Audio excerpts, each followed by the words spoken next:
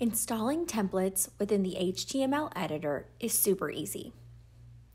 You may have noticed that our template shop has been growing exponentially every week. There are tons of great responsive designs to choose from. HTML editor owners will be delighted to hear that these designs are compatible with their code program. I'm going to select the brands theme as an example. Um, from the template shop, you can view the design online, uh, download um, for site designers so that you can edit visually, or download for the HTML editor to get your hands on with that code. When downloading, you'll save the file to your system. Once the download is complete, open the File menu and go to your Downloads folder. Locate the downloaded file and double click. Double clicking on the template file will automatically install the design within the HTML editor. You'll see a success prompt within the HTML editor indicating this.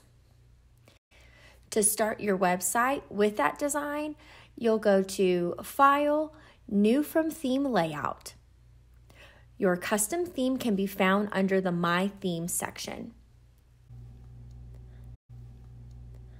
Select the design and you'll be prompted to apply the template to an existing website project, a new website project, or build without one. A website project is a good idea as it keeps all the files and resources organized together and associated with your server profile. When you set up the template as a new website project, you'll give the project a name and select a Save To location. Your project will load up and be ready for you to edit. You can go to the View Split Screen uh, File menu, um, and then this way you can uh, modify the code on top and view the real time preview at the bottom. Another method is to install the template from within the app itself.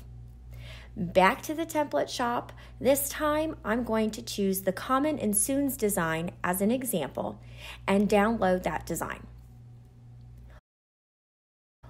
Once the download is complete, go to the HTML editor file menu and this time select um, Import Theme Package.